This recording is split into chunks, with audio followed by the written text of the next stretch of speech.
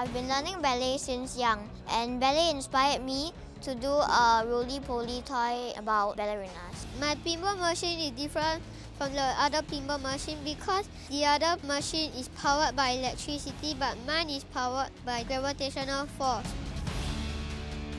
Through this competition, I have a deeper understanding of science and when I grow I want to be a scientist so this made me know about the scientific principles behind the toys.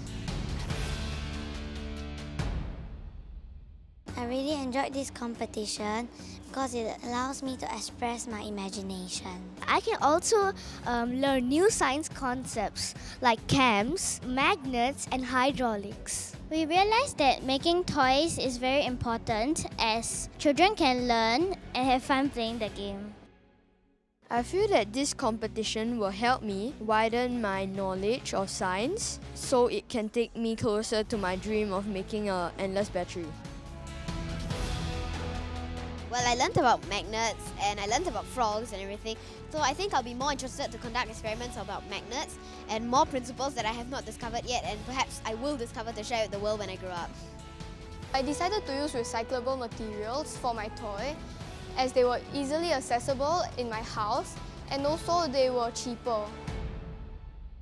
If you make your own toys, the materials will be cheaper and when you grow older you can remember that when you were young you actually did this. This year it helped me like having a lot of confidence. The earlier we expose our kids to this, the better it is. This competition is giving opportunity for parents and children bondings. What they're really looking for is how students can think out of the box. And I think that forms a very important basis for our STEM education as a future uh, scientists and engineers. Actually, it has given a very uh, good platform for the students, you know, to come up with their own creativity. It looks at different things, not just science. There's also aesthetics, uh, construction, also going beyond the textbook. It stands apart from other competitions. It gives an opportunity for children not only to show their talent, but also gives an opportunity for them to gain something out of it. And I think the confidence of the children able to present ideas clearly or to concept the toy did benefit the children themselves. Not to learn science is a living subject, so just by going through books, it's not really conducive way. There's a family bonding there in supporting his ideas and actually we come up with a product which is very satisfying.